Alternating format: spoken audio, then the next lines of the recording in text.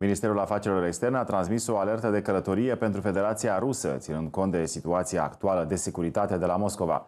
Oficialii de la București le recomandă cetățenilor români să evite călătoriile neesențiale în Rusia, iar celor care se află temporar în această țară se ia în considerare părăsirea teritoriului cât mai curând. De asemenea, Maie reiterează recomandarea ca cei care se află în Rusia să-și înregistreze neîntârziat prezența la adresa www.econsulat.ro, disponibilă atât de pe PC cât și de pe laptop sau telefonul mobil.